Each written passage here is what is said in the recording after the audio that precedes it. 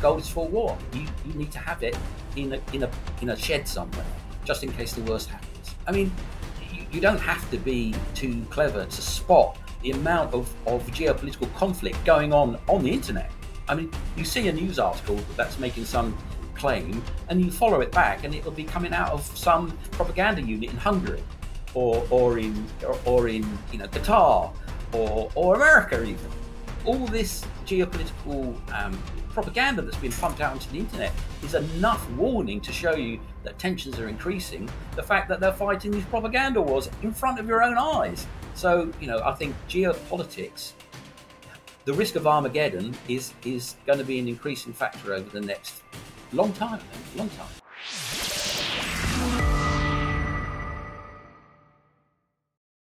Hello and welcome back to Soar Financially, where we discuss the macro to understand the micro. My name is Kai Hoffmann. I'm the 8JR mining guy, the 8JR mining guy on Twitter, CEO of the Soar Financial Group, and of course your host for this channel. And I'm really looking forward to this upcoming conversation. It's with a first-time guest. It's with Clem Chambers. He's he's an accomplished author. You might have seen him on CNBC, CNN, Bloomberg, and all the other TV and mainstream news media because he's an accomplished writer, financial writer. He has a good sense of what is happening in the markets, and he can really help us make sense of what is going on. I just had the pleasure of chatting with him for about 10 minutes before hitting the record button, and I'm looking forward to recording what we discussed and really looking forward to his takes on a number of things. We have to talk about Fed. Uh, the Fed, Jerome Powell spoke in Jackson Hole late last week. Uh, we got to sort of go through what he, what he said and really work through the market expectations because I'm quite curious on Clem's take here as well. Because uh, Jerome Powell said a few things that have me I wouldn't say spooked, but uh, I'm I'm listening carefully and uh, trying to figure out what the market is making of it as well. Um, Clem is also an author of a number one bestseller. He's like one 101 ways to pick a stock mar- uh, to pick a stock market winner, and I'm really curious like what his take on this current market is because uh, we're topping out at 5,600 points in the S&P where can we make some money? Where can we make some profits? And uh, maybe Clem has the golden formula for us.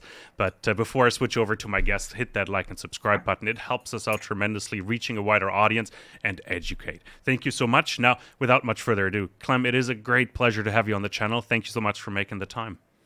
That's my pleasure. And by the way, hit the bell don't forget to hit the bell, otherwise you won't get further notifications from YouTube to come and see this excellent channel. If he's going to big me up like that, I'm going to big him up too. You know, it's, it's scratch my back and I'll scratch his. I appreciate that, Clem. No, absolutely. Hit that like and subscribe button. Hit that alarm button as well. That way you get push notifications. Absolutely. Clem, it is a great pleasure to have you on, but uh, let, us dive right in. We have a lot to go through, lots to discuss. Um, let's start with the overall economic situation. How nervous are you right now, and how confident are you in the strength of the markets? Well, if you look at the US market, it has been incredibly strong for a very long time. And, you know, it's up at incredible nosebleed heights, mainly because of a few stocks that are now worth trillions and trillions. So, you know, if you're a value investor, then you're going to be looking elsewhere. But I don't think anything bad's going to happen to the market. And maybe it'll just continue to be a little bit strong right the way up to the election. Because unlike um, people who kind of worry about um, the Fed saying this and the Fed saying that, I don't think anybody's going to rock the boat until after the election because it's so politically charged now to say that X has, well, X is a good example, but you know, someone has interfered with the election. And the Fed is not going to put itself in front of that machine gun by doing anything that might influence the market, like crash it, for example, or make it rally hard. What they will do is what they will have to do. And so I don't think they're going to be doing anything that will be heavily influential um, in the market enough to affect the election. I think they'll be keeping it uh, very much on a steady kill. That's a really good entry to, to what, what I want to discuss with you. It's really what Jerome Powell said at Jackson Hole, and I've, I've mentioned to you. I've, I've, picked like two quotes from the from his press conference, which stood out to me a little bit because it gives me you know a second to pause because it might signal something more drastic, in my opinion. One is uh, we do not seek or welcome further cooling in labor market conditions. That's an exact quote from Jerome Powell, and I wonder, like, how how, how do you interpret that? We're at a four four handle, four four percent, four point one percent unemployment rate, which doesn't sound as bad. Almost sounds like full employment. Um, why is he so? Why does he sound so nervous?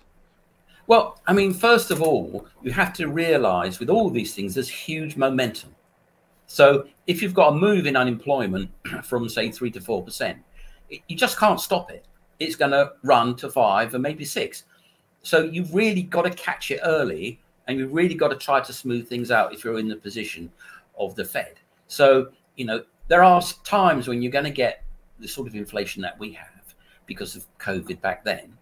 But that runaway train, you just can't stop it dead in its tracks. And when you do slow things down, what happens next has a big momentum. A, an economy like America really is the ultimate super tanker. You just can't turn it around on a dime. You have to start to move things early. So if you don't want it to get to 6%, you have to move at 4%. And, you know, you have to put interest rates up early and you have to take them down early too. So I think you're seeing what the Fed has been very good at managing a really wild economic situation caused by COVID and the after effects of COVID. So they are signaling early what they're going to do. So there's no surprise. It's the surprises, it's the unknown unknowns, the unexpected that move markets in dramatic ways. If you just slip out the information slowly but surely, everybody works it out.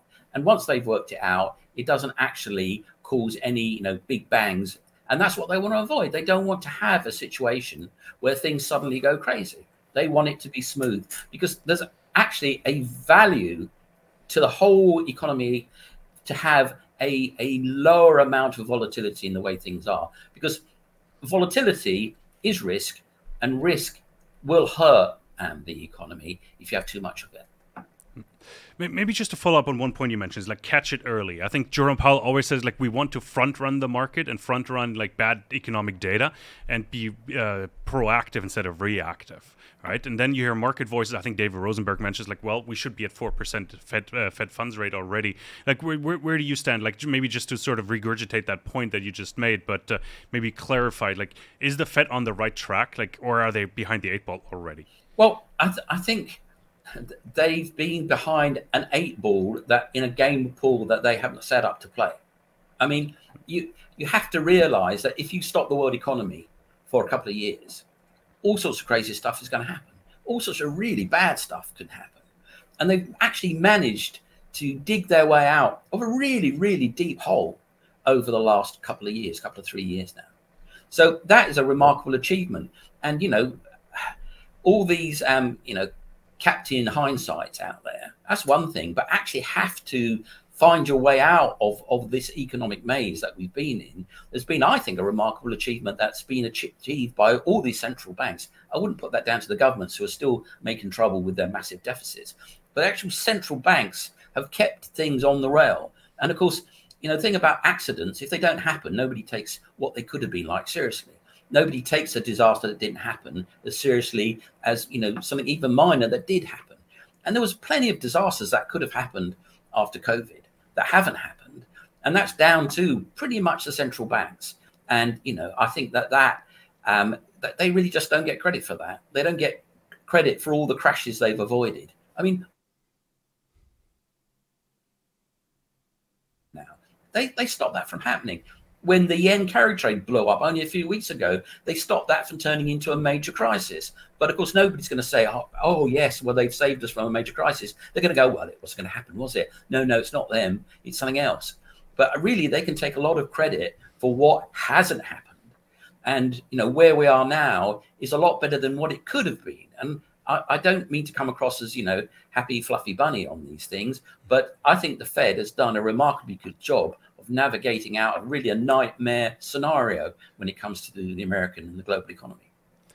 Yeah, no, in- interesting points, and maybe to follow up on that as well. Like one thing Jerome Powell said on Friday in, in Jackson Hole was inflation and labor market data show an evolving situation, which sort of signals to me is like, okay, we're trending the right direction. It's time to do something because those are the two ma- main mandates the Fed has: is manage inflation, manage the labor market. Um, on on the topic of inflation, there, Clem, like, do, do, do you agree? Like, what kind of inflation indicators do you look at? Do you look at government supplied CPI data? Do you do you believe on your own? Let's call it the wallet index, uh, or do you look at like like Truflation? Where, where, where do you see things trending? Well, inflation is very, very difficult because without a doubt, the inflation numbers are heavily curated, i.e., fudged. So it's very difficult to know what real inflation is. And the funny thing, I was talking to the Truflation guys a couple of years ago, and they were saying how they measured it properly. And then when they measured it, it was actually lower than the official figures. And I, I, I thought that was kind of, you know, ironic. But what is the true inflation? It's very difficult to know because if you think about all the machinery, all the computers, uh, all the electronics, all the technology that have brought down various prices, and then other things that have pushed up prices. It's a very mixed picture. But to me, there's a lot more inflation out there than has been uh, measured by lots of different people. And when you think about it, what is a good measure of inflation? And my favorite one is the cost of a haircut, because there's no technology in haircuts. There's only the basic uh, cost of a building, electricity, a pair of scissors, and a person. And so you can get a good feel for what real inflation is like by looking at those sort of things. But if you look at inflation, say in the UK, um, they reckon there's been 300% inflation since 1983, whereas the price of a car has gone up 500%. So how can it only be 300% when basic things like cars have gone up five times? So really, the inflation numbers are very, very hard to track and know. But I think inflation is higher and is actually going to remain higher than they say it is.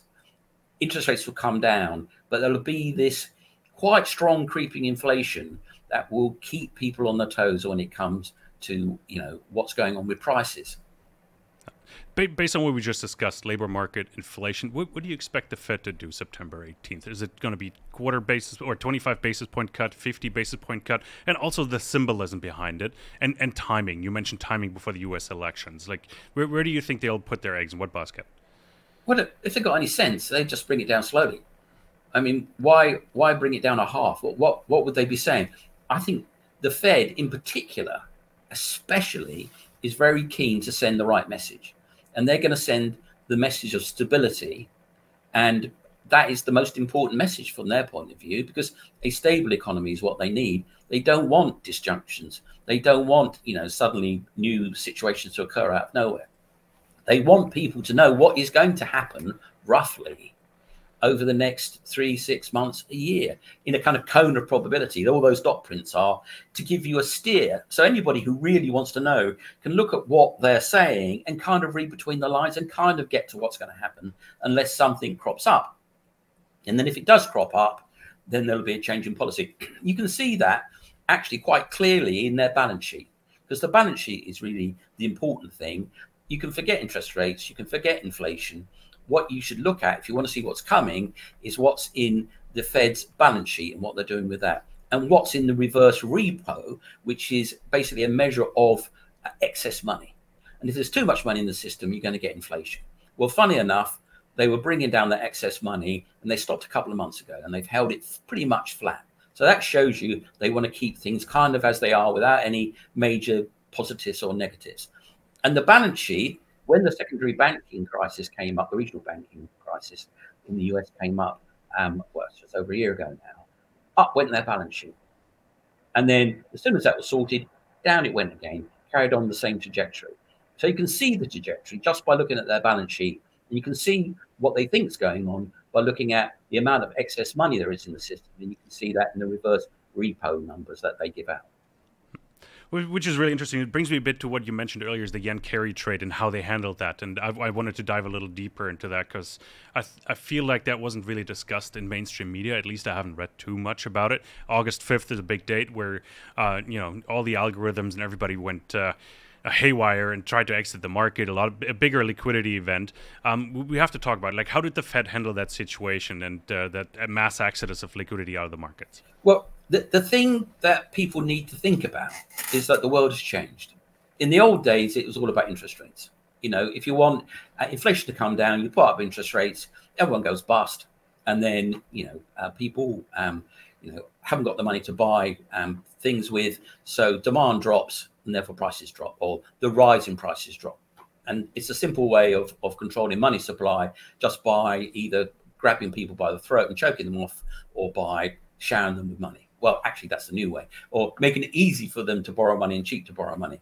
So that was the the lever. And when you think about it, that's the big lever that used to be used to control the economy and everything that went along with it. And they're moving it in quarter of a percent, which is a really unsubtle way of doing it. And it's really like a sledgehammer. Um, in China, they do it in 0.1%. In America in the, and in the developed world, it's a quarter of a percent, which is, you know, not very subtle, is it? Not very sophisticated. But that's the old way of doing it. The new way of doing it, the way that came in after the financial crisis of 2007, 8, 9 was that it's just about the availability of money in the system. So they will push money into the system. It doesn't matter what the interest rate is. Push money into the system and push it onto people who want it. And who doesn't want to have money, right? I mean, a 1% more on interest rates might cramp a few people, but it's the ability to get money that's the most important thing. If you say to companies, you can't have any more money, you can't roll those debts, they just go bust, right? So actually, underneath the cost of money is the actual availability. And these days, they just manipulate the availability of money to um, manipulate inflation and economic growth or otherwise.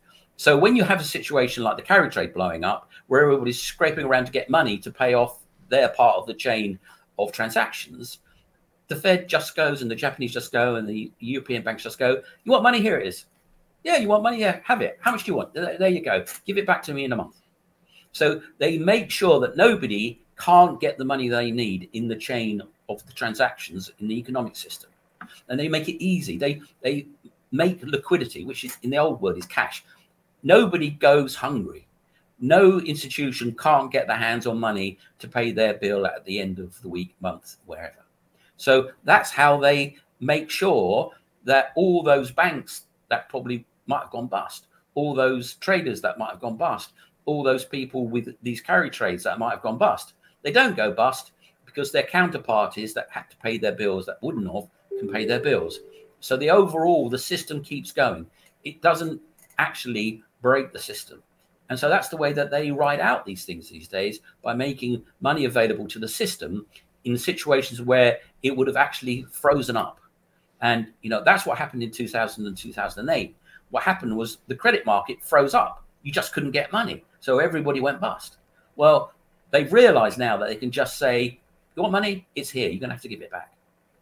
And that will save markets and economies from these systemic defaults, which is what they're trying to avoid and have been avoiding ever since then, which has saved us from, you know, really some pretty dark economic times.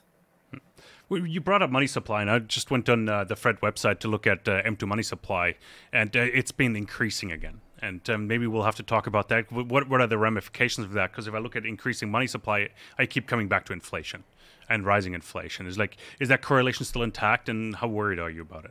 Well, I, there's these huge fiscal debts out there, and they're not going to go away. Well, they are going to go away. It's called inflation, and they don't go away overnight. They go away over the long term. So, whereas you might have liked to have a two percent inflation rate, you have a two and a half or three.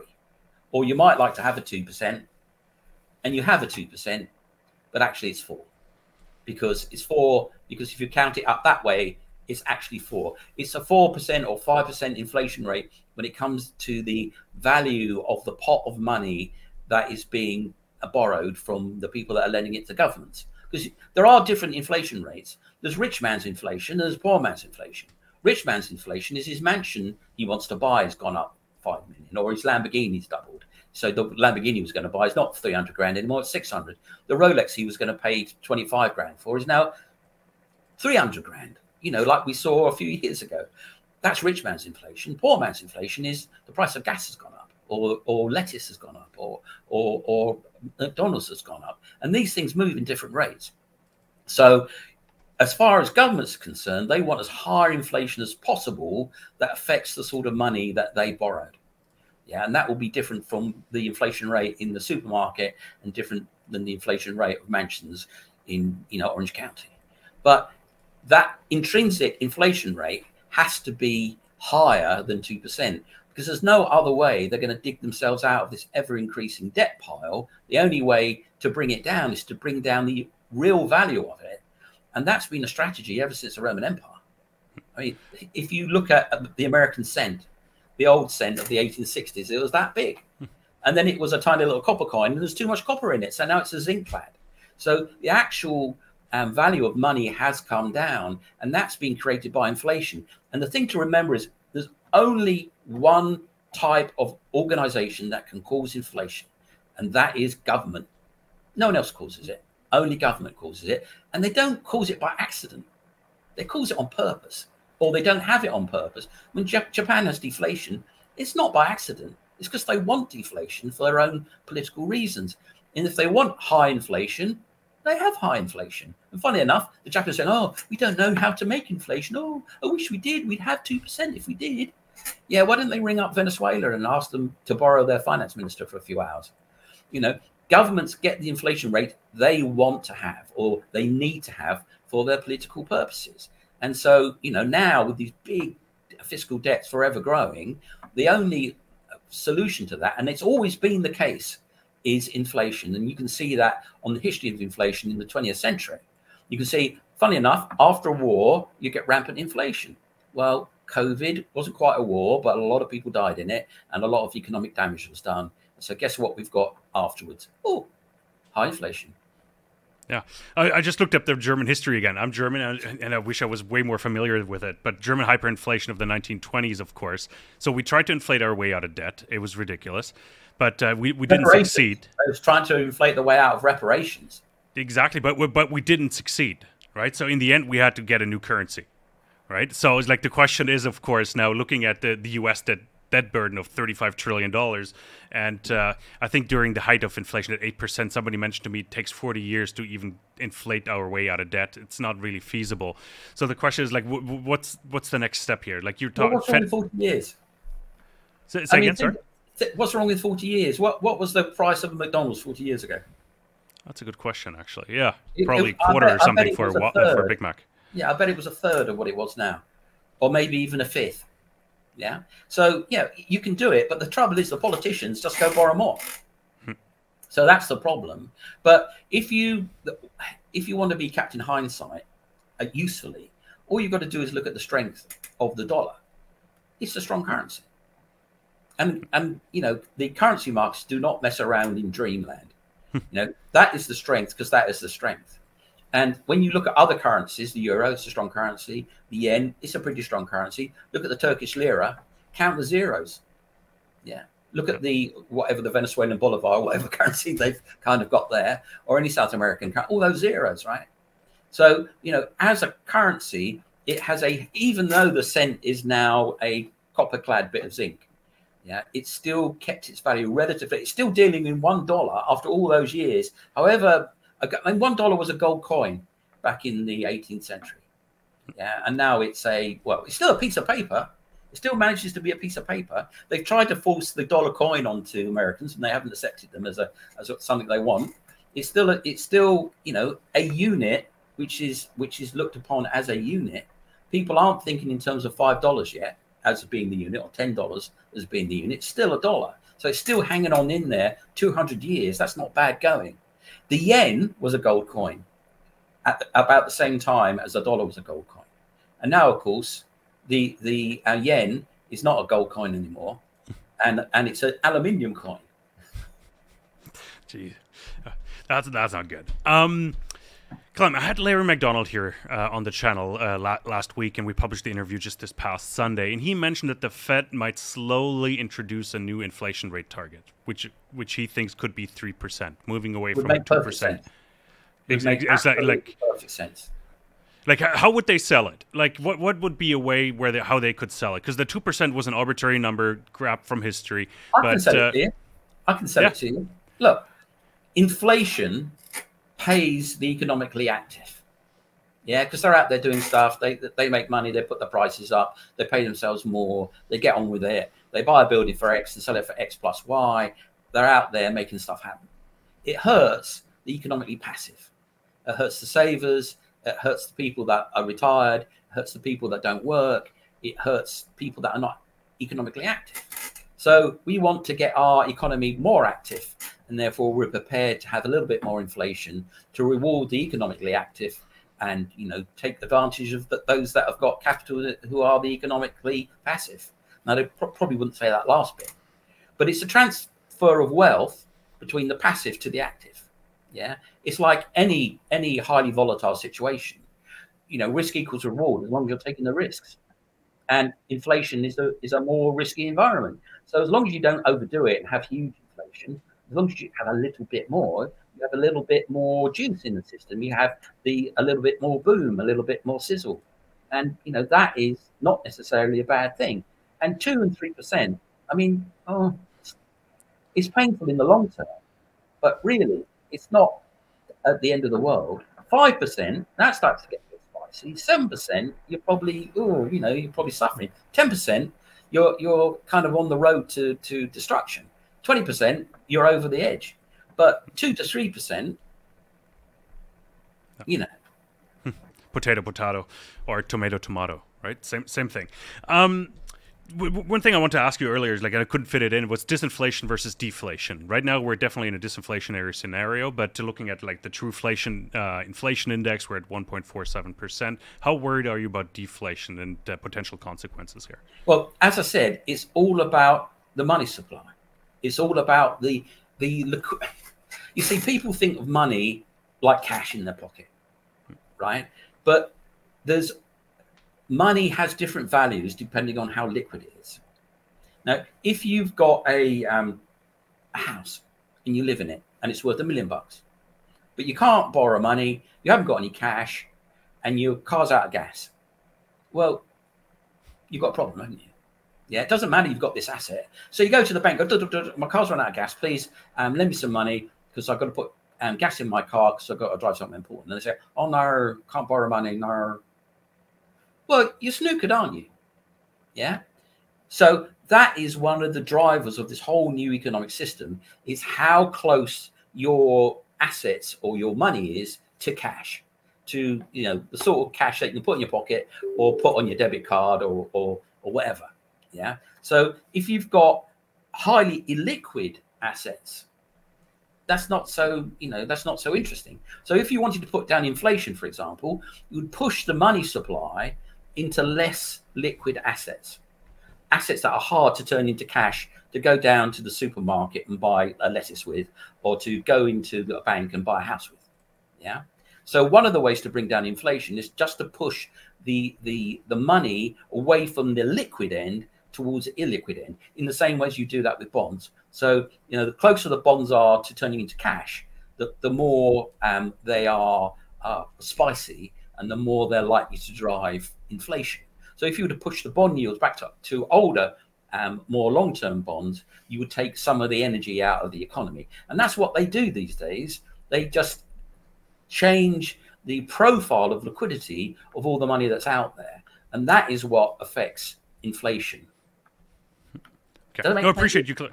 Yeah, no, I appreciate you clarifying that. It makes a lot of sense, and uh, it's interesting to put that all into context because now, like, sort of my follow up question is now, what is the market pricing in here? And uh, we talked about the Fed rate cuts, of course, but I'm looking at an S&P 500 of 5,600 points, 10-year U.S. bond 3.9 percent, gold at 25.16 an ounce, uh, the Dixie at 100.7.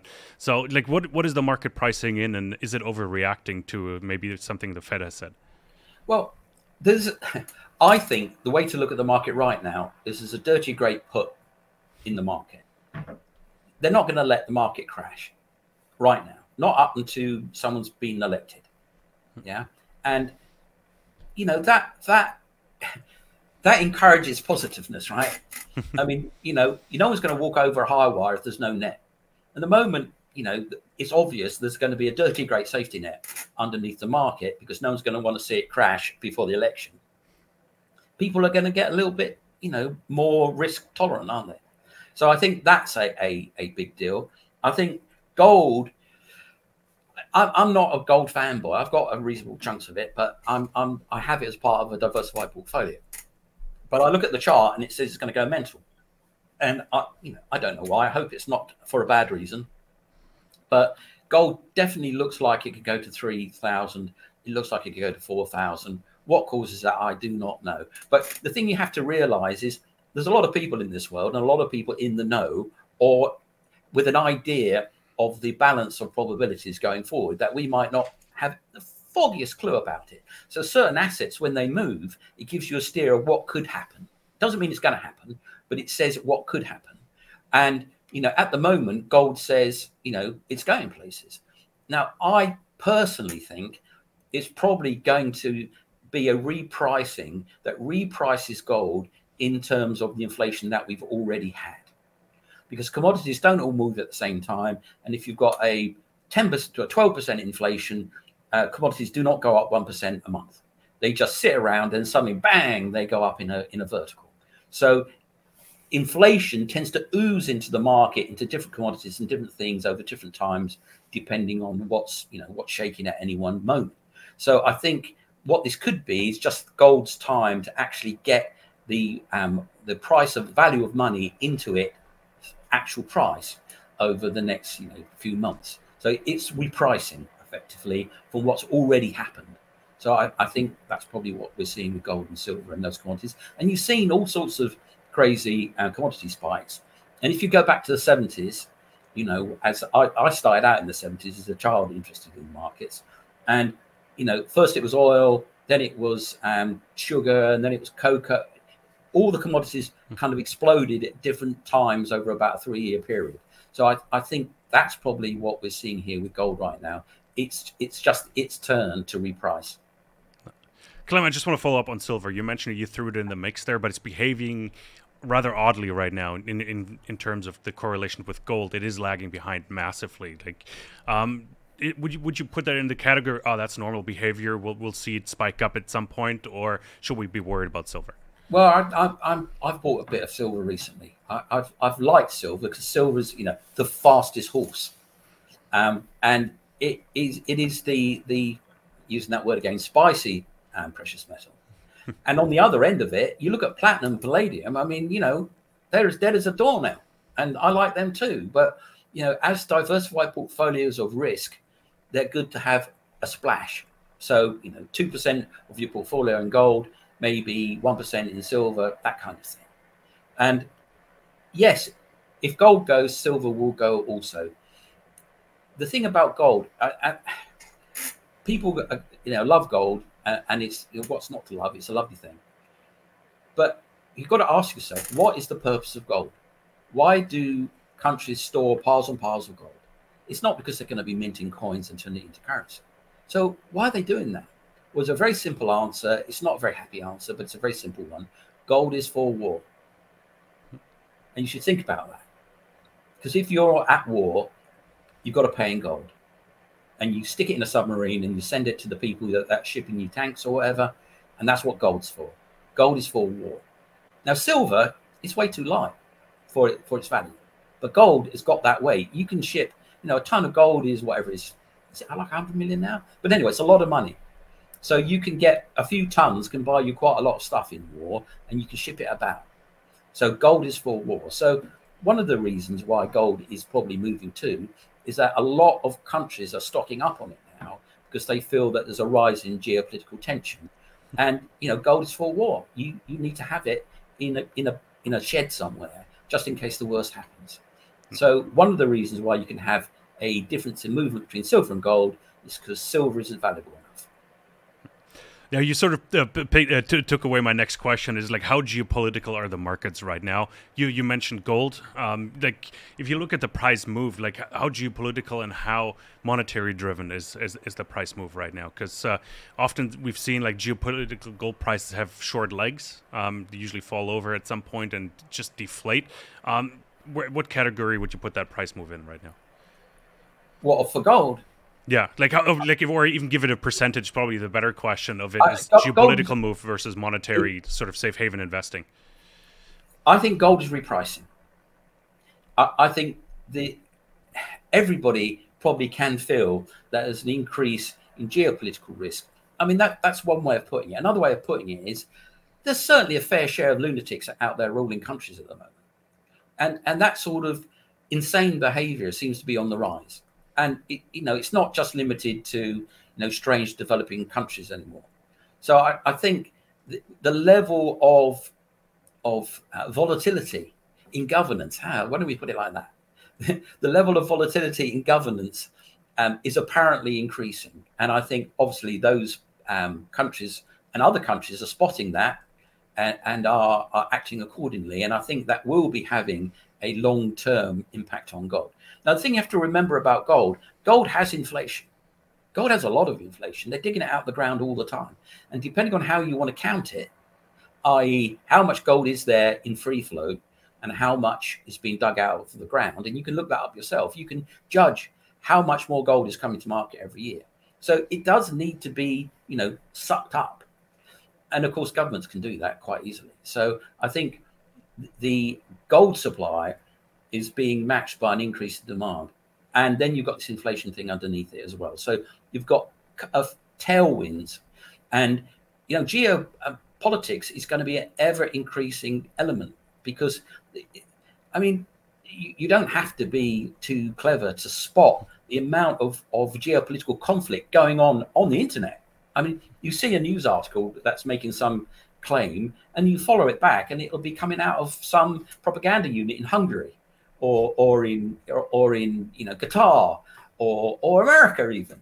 All this geopolitical um, propaganda that's been pumped out onto the internet is enough warning to show you that tensions are increasing. The fact that they're fighting these propaganda wars in front of your own eyes. So, you know, I think geopolitics, the risk of Armageddon is is going to be an increasing factor over the next long time. I think, long time. Now, Clem, uh, Clem, maybe last, last question. It really fits in, uh, you know, what we just mentioned is like we're in, living in extremely volatile times. Um, how do you pick a stock market winner, and uh, what, what, are you looking for these days? Give, maybe given some some time context here as well, maybe until the end of the year, how would you pick a winner right now? Well, okay, so so the, there's there's my book is 101 ways, okay, and I was told off by some um, magazine editor. So, why is 101 ways? There should only be six, you know. But hmm. there are many little ways, little tells that you can put together of, on your own, and you go, oh, when this happens when a company's been doing really, really badly for, for five years and it gets a new CEO, oh, I'm gonna I'm gonna mark that as a tick. Yeah.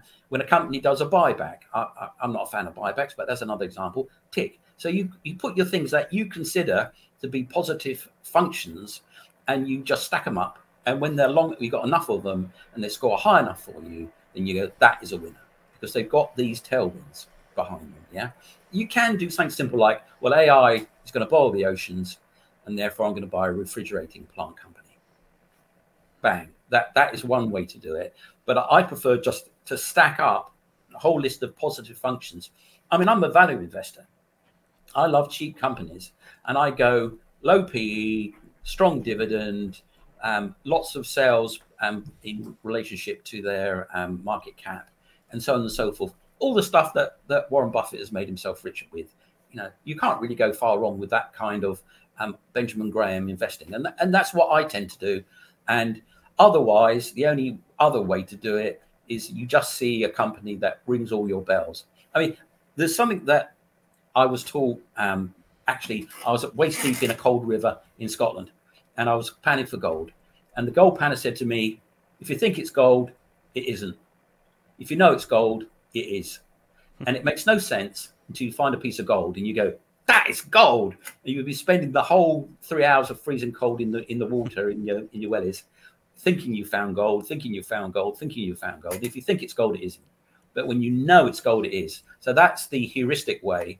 If you don't want to do numbers, if you don't want to grind through all the facts and figures, is wait for the one share every you know 18 months that you look at that suddenly smacks you on the forehead and says, "This is the one." And then that's a good way to pick. But I prefer to just crunch numbers. Benjamin Graham, Warren Buffett, read the books about them that are, decent. And um, by the time you've read them, you should be, you know, pretty well clued up on how to pick sensible stocks. Since you brought up gold and stocks, like I have to ask you, gold miners a value pick right now or not? Tough one, I know. I no, it's not tough at all. It's just disappointing.